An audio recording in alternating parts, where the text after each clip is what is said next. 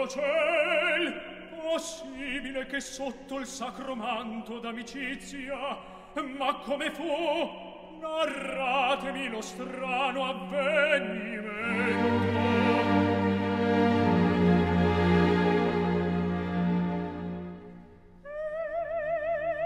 Era già alquanto avanzata